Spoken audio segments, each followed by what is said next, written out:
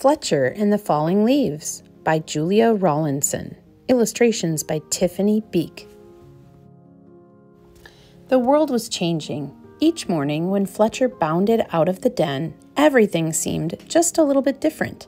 The rich green of the forest was turning to a dusty gold, and the soft, swishing sound of summer was fading to a crinkly whisper. Fletcher's favorite tree looked dull, dry, and brown. Fletcher was beginning to get worried. I think my tree is sick, said Fletcher. What's wrong with it? his mother asked. Its leaves are turning brown, said Fletcher. Don't worry, it's only autumn, she said. Fletcher ran back to his tree and patted the rough bark. Don't worry, it's only autumn, he said. You'll be feeling better soon. But the tree didn't get better. Each day, more leaves turned brown. One morning, the wind blew a small brown leaf off of a branch. Fletcher jumped up and caught it very gently in his paw. Don't worry, tree. I've got your leaf. I'll fix you.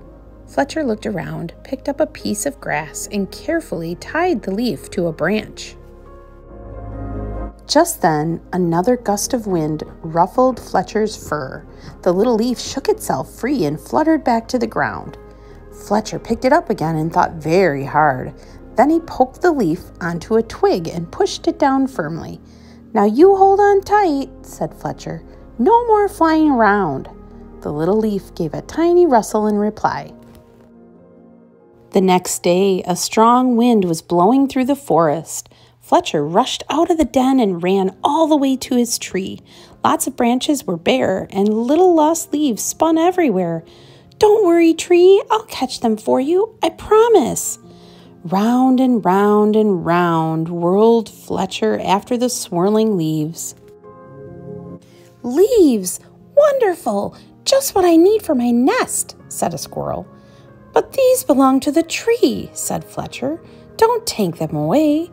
The tree doesn't need them any more," said the squirrel, bounding off. Help, help!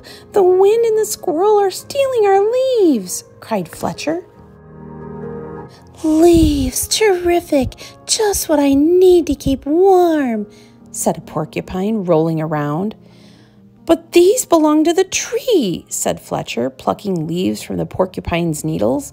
Not anymore, snuffled the porcupine, and he and away he rolled. Help, help! The wind, the squirrel, and the porcupine are stealing our leaves, cried Fletcher.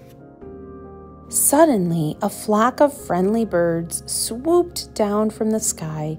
They picked up the leaves in their beaks and poked them onto the tree's branches. Soon the tree was leafy again, and Fletcher flopped down and smiled. Thank you, birds, thank you, he gasped as the birds fluttered away.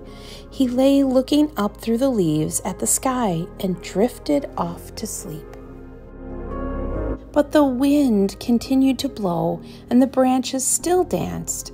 The leaves shivered and shook themselves and began to wriggle free. They tossed and turned and twitched and twirled and tumbled to the ground. They brushed Fletcher's ears and nose and filled his dreams with a whispering sound. When Fletcher finally woke up, he couldn't believe his eyes. Instead of a roof of dancing leaves, all he could see were bare branches against the sky. Oh, tree, I'm so sorry, gulped Fletcher. All your leaves are gone. But then he saw high in the branches one small leaf still holding on. I won't let the wind steal that one, said Fletcher, and he began to climb. He crawled along to the last leaf and held it firmly onto its branch. All day long the wind blew, the branch bounced, and Fletcher held tight. I'll stay with you, Leaf, he said. Don't worry. But then with a sudden whoosh of wind, the branch bounced high. With a plip, the leaf let go and fluttered like a little flag clutched in Fletcher's paw. Fletcher looked sadly at the leaf he had promised to save.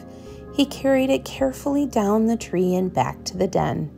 He made a cozy little bed for it and gently tucked it in.